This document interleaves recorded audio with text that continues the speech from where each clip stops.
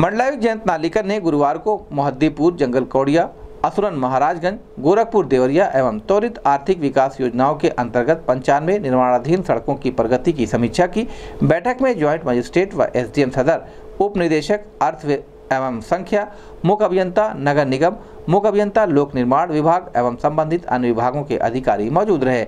बैठक में त्वरित विकास योजना के अंतर्गत आठ कार्य आरंभ न होने के कारण अप्रसन्नता व्यक्त करते हुए अधीक्षण अभियंता एवं अधिशासी अभियंता ग्रामीण अभियंत्रण विभाग को कड़ी चेतावनी निर्गत की गई।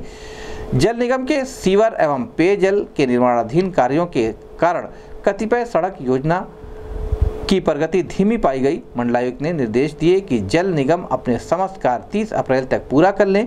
इसके अलावा जंगल कौड़िया, मोहद्दीपुर, गोरखपुर, देवरिया एवं असुरन महाराजगंज की सड़कों से संबंधित समस्त कार्य 30 मई तक पूर्ण करने के निर्देश दिए गए।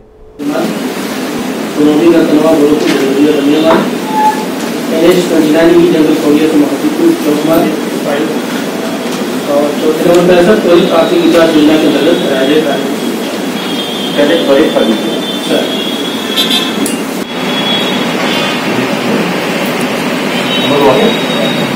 क्यों नहीं बताते हो वो कम जाओ